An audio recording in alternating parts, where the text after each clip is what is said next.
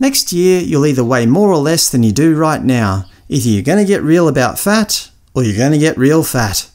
There's plenty of evidence out there showing that most New Year's resolutions don't work. 60% of us make resolutions, but only 8% of us keep them. 64% of resolutions are abandoned after one month. As with most things, the practice of making resolutions began almost 5,000 years ago in ancient Babylonia, where people would make promises to their pagan gods so that they wouldn't fall out of favour with them. Nobody wants an angry god hovering over them all year.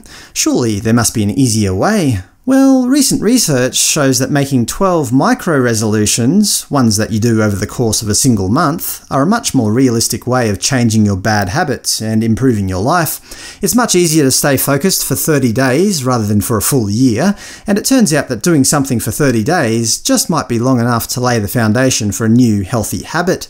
If you don't continue the habit after 30 days, oh well, move on. You've got 11 more chances of success.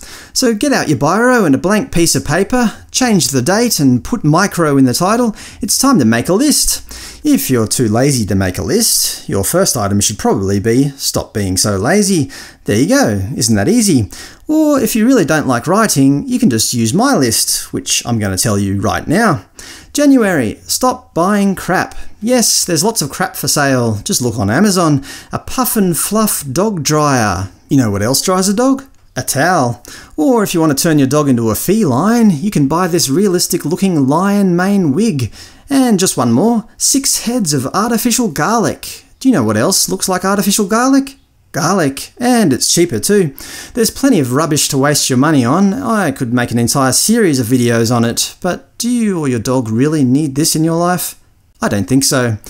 February. Eat more plants slash whole foods. This isn't telling you to give up eating rubbish, that's a very unachievable goal, it's just telling you to eat more healthy food. Sure, fresh veggies have become quite expensive of late, but there are still plenty of cheap options. Instead of eating a packet of chips for morning tea, why not eat a bag of Woolworths mini carrots for $1.50? Or instead of munching down a plate of biscuits, why not crack open a can of Coles chickpeas? This also has the advantage of giving you something to talk about at work when your colleague walks past. Asked, what the hell are you doing?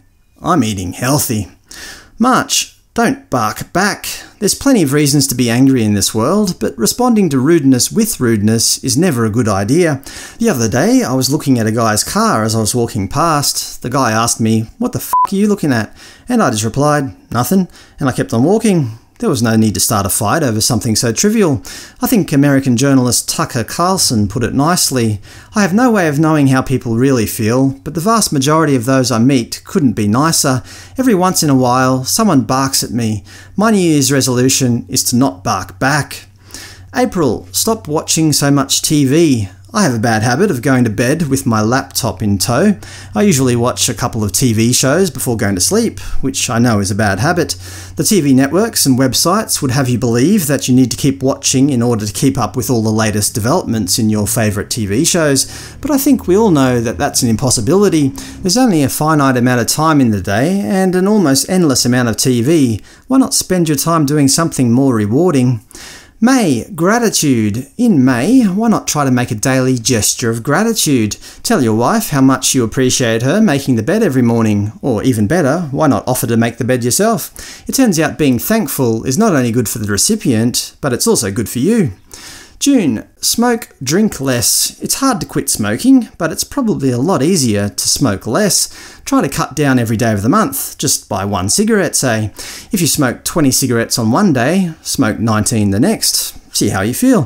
If you feel okay, try cutting down to 18. Eventually, you might just break the habit. After my drunken experiences in Mongolia last New Year's, I made a commitment to cutting down my alcohol consumption. In 2019, I probably literally only drank 5 or 6 drinks. That allowed me to drink on special occasions without upsetting people too much, and keep my promise of not over drinking. Win-win.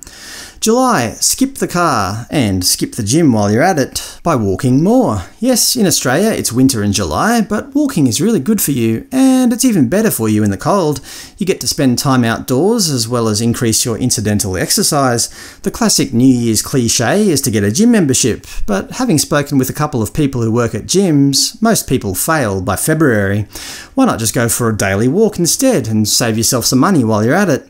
August, sleep more. We're always making excuses not to go to bed early.